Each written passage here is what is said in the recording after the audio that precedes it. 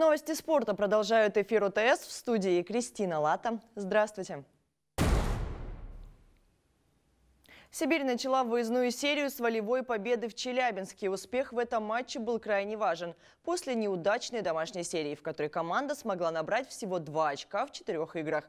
Подробнее о том, как складывалась встреча с трактором, расскажет Михаил Якимов. Месяц назад команды уже играли друг с другом в Новосибирске. Тогда Сибирь показала характер и, уступая по ходу встречи 0-2, смогла догнать трактор и перевести матч в дополнительное время. Однако развить успех не удалось. Хозяева уступили в серии буллитов. Игра в Челябинске также обещала интригу до финальной сирены. С самого начала обе команды показали, что настроены серьезно и будут биться за шайбу в каждом эпизоде. В результате удалений в стартовом отрезке хватало.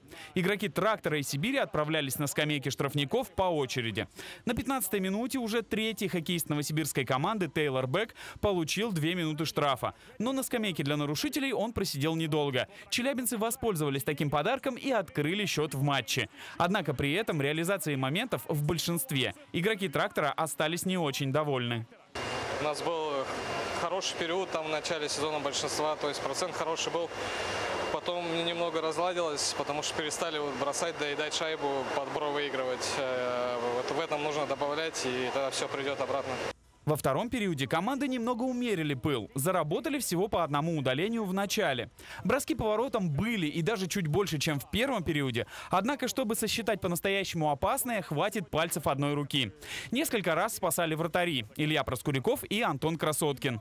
Хороший соперник, хорошая игра в обороне, организованная команда, поэтому приходится тяжело, приходится взламывать, искать какие-то моменты, отскоки. Броски, их нет, они должны быть, чтобы забить гол.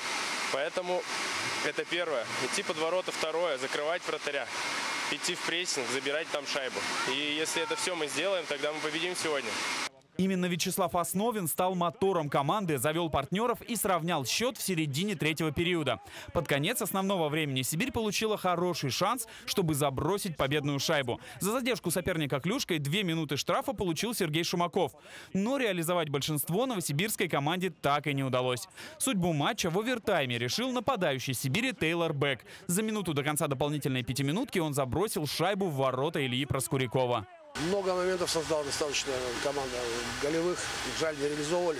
Но то, что мы бились до конца, это большой плюс огромный.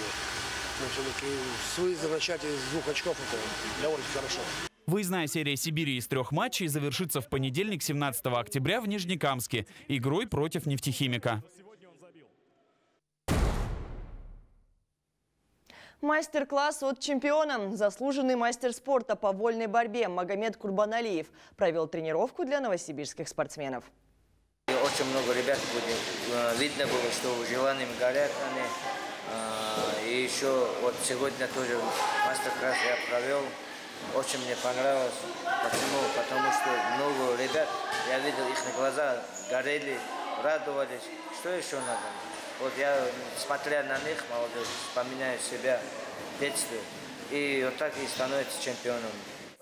Мастер-класс от чемпиона мира 2016 года прошел в спортивном клубе «Обь». Участие в нем приняли порядка 150 юных борцов-вольников из разных школ города. Причем как мальчики, так и девочки. Титулованный спортсмен провел полноценную тренировку, показав детям свои коронные приемы. А после ответил на их вопросы в неформальной обстановке. Подобные тренировки с чемпионами не редкость в Новосибирске. Полгода назад в наш город с мастер-классом приезжал двукратный олимпийский чемпион по вольной борьбе Абдулрашид Садулаев.